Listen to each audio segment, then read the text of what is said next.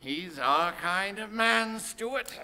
Jack, we'll make this country interesting again. But more importantly, he'll make the town interesting again. Hmm. He's got that gleam in the eye that FDR had. Hmm. Didn't realize how much I'd missed it. Hmm. Eisenhower was so plodding and dreary. His Washington was like going to bed with a glass of warm milk and a woman in curlers. That's not bad. Have you used it? Mm, It's all yours. Everyone would know it was you.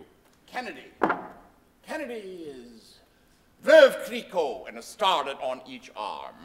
And one of them has a degree from the Sorbonne. That one needs work. Oh, stop affecting nonchalance. You feel the same way I do. I just don't think we should get carried away. I do! I will! This one night I will be carried away!